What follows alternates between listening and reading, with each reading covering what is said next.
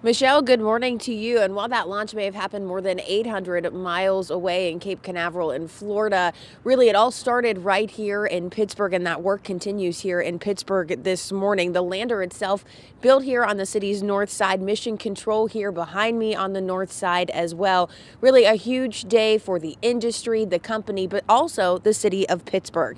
Now, this is historic, like you mentioned, because this is the first liftoff to the moon since the Apollo program ended more than 50 years years ago. Pittsburgh based aerospace company Astrobotic is behind the lunar lander that they are calling Peregrine.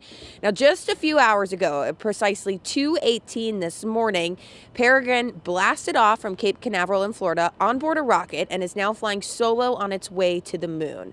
This is an unmanned mission and a one way ticket. If all goes as planned, it will land on the moon on February 23rd. Now, the Peregrine lander itself was assembled here at Astrobotic's headquarters and includes parts manufactured by by hundreds of suppliers from across the United States, including 184 companies in Pennsylvania alone.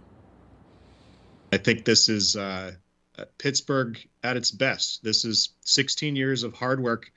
Um, we don't have a billionaire backing us. We don't even have major backers at all. We've just been building this up ourselves, um, and that's a very Pittsburgh way to to do things. Um, we've got 250 people uh, at the company now. We've captured upwards of 450 million in NASA contracts. Um, and we we did that on on just a, a, a very small amount of investment.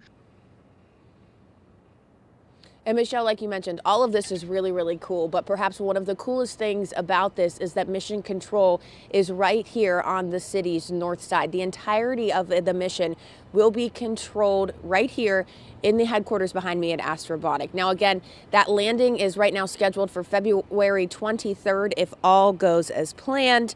And we, of course, will keep you updated on the status of Peregrine and it, that landing as this continues. For now, reporting live from the north side this morning, I'm Lily Coleman for Pittsburgh's Action News 4.